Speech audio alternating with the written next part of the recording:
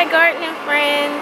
So today I'm going to be mulching and pruning and fertilizing just like last time um, with the same recipes and stuff of fertilizer and the same recipe of the like peppermint spray that I use to protect my plants.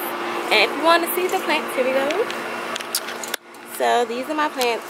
You see my, oh my goodness, my um tomato is getting pretty tall. It's almost to the top of the stake already.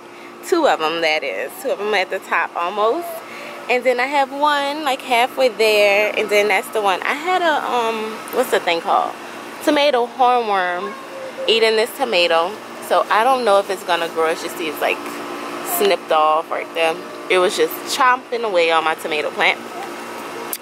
So I don't know how that plant is going to do. But uh, and then I have some sad little zucchinis and squashes back here that's hot that I'm about to water. So yeah guys, I'm about to show you all what I'm going to do today. It's just mulching around, I'll just tell you. But I'm just going to be mulching. Oh, it's a jungle back here. I hope I don't see a snake. Like it's a real jungle back here. So I'm going to be mulching around these um, zucchinis and I'm also going to cage them uh, all of these right here, the zucchinis and the squash. I didn't even know this one, the spaghetti squash. I didn't know it grew like these tendrils. Uh, and as you see, it's gotten a hold of my tomato plant right there. So I have to push this one back. I didn't know it was going to do that. I thought it was going to grow like zucchini, but uh, it did not. And then I have eggplant and this was okra. Y'all gonna pull this up because I so inside the house I started some baby seedlings uh, with the paper towel method. I didn't know it was gonna work, so I didn't show you all. I'm so sorry, but they it works amazing.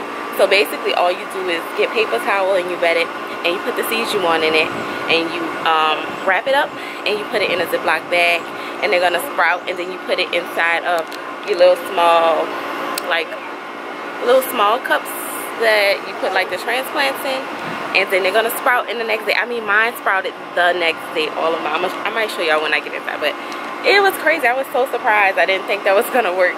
But um, i'll show y'all uh, next time i do it with some more plants.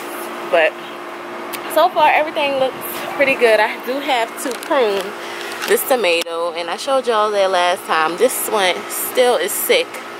So i'm gonna have to prune probably all the way up to here you see, because it's about the last one. Maybe even this leaf too.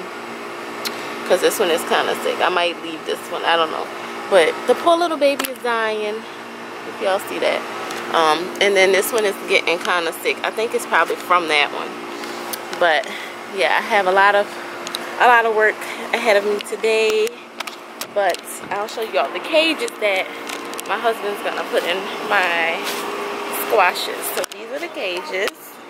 I got these from Walmart. I think there's like a dollar a piece. It was on sale something um at the end of spring. And this is ooh, see if I can get one out.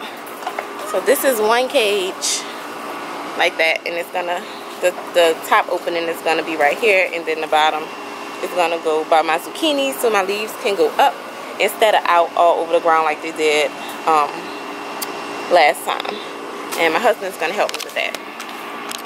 So, alright guys, I'm about to get to fertilizing and I'll show you all the finished product. Okay guys, so I am done with all that I have to do. So if you see I pruned most of that and I stake I even put two stakes in this tomato because this branch got really tall. I didn't even notice it. Like you have to pay attention to the, um, I think that was a sucker, but uh, a multi-stem um, tomato plant but it went all the way up if you see. And it got pretty tall so I just staked it right next to it. And I pruned this one very heavily because that was a sick one. And I wanted to show you I found some more of those creatures those fiddle um oh my god look at me fiddly fig tree. Those um let me see if I can get a zoomed in picture do you see them those but those are leaf um, bugs leaf-footed bugs babies so I have to kill them my husband is gonna spray some Sevin um, if you don't like chemicals. And if you wanted to try the uh, neem oil, go ahead. It didn't work for us, so uh, we tried Nemo. We tried a whole bunch of different things religiously, and it didn't work for us. So we decided to use chemicals, and that has worked for us tremendously last time. So we're gonna be doing that again. So just my husband's gonna spray the Sevin. This is what he uses.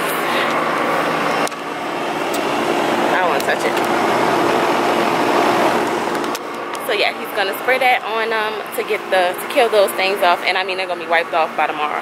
And then um besides those pests, I have staked uh, like a caged, as people say, caged my zucchinis and squashes it was pretty hard because they got pretty tall. So don't let y'all get too tall before y'all stake them.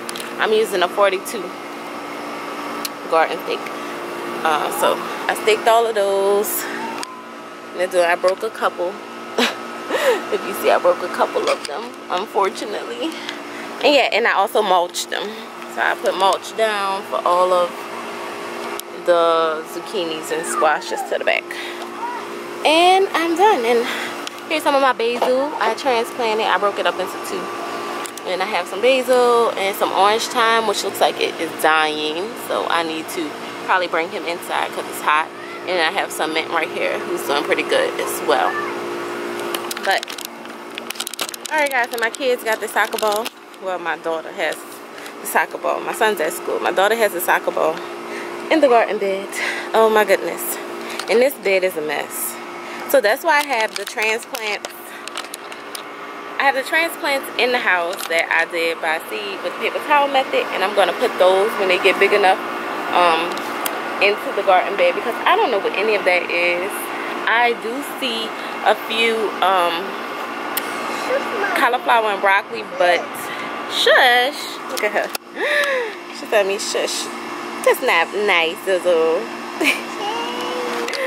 but yeah like i have a few of those left um in the house and it probably be ready in like a month or two but i'm just gonna let this do whatever it does until um, my transplants are ready because i do think some of these are cauliflowers and broccoli and i think right after i planted the seeds y'all it had a really heavy rain and i think that kind of scattered some of my seeds because you know those seeds are very very tiny. So i think it scattered some of my seeds all over the place.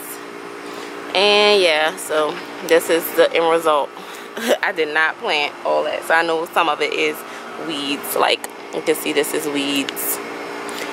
You know I know what some of the weeds are but I'm just gonna let it grow.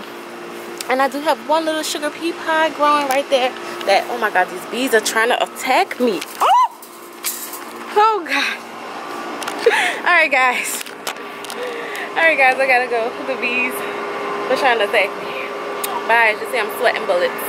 Bye.